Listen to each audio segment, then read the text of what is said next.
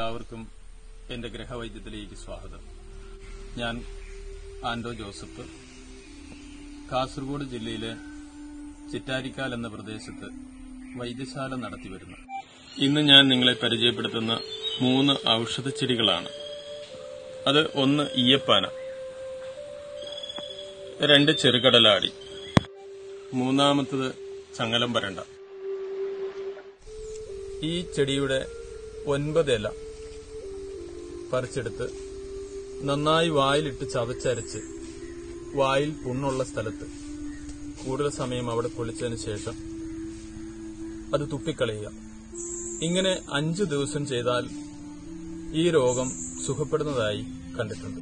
ഇന്ന് സർവസാധാരണമായി കണ്ടുവരുന്ന ഒരു രോഗമാണ് ഫൈൽസ് രക്തം പോകുന്നതും അല്ലാത്തതുമായ ഫൈൽസിന് ഈ ഔഷധ സസ്യം ഒരു കൺകണ്ട ഔഷധമാണ്. ഇത് ചെറുകടലാടി എന്ന് പറയും.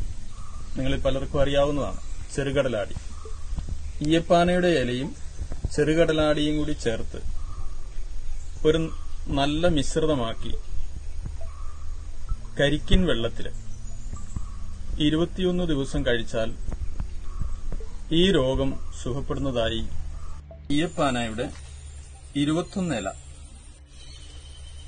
ഇരുപത്തൊന്ന് ഇലയും ഈ തേങ്ങായും ചേർത്ത് മിക്സിയിലിട്ട് അടിച്ച് നന്നായി അരിച്ചെടുത്തതിന് ശേഷം വെറും വയറ്റിൽ നിങ്ങൾ ഇരുപത്തൊന്ന് ദിവസം തുടർച്ചയായി കഴിച്ചാൽ കുടൽപുണ്ണും അൾസർ എന്ന രോഗവും സുഖപ്പെടുന്നതായി കണ്ടിട്ടുണ്ട്.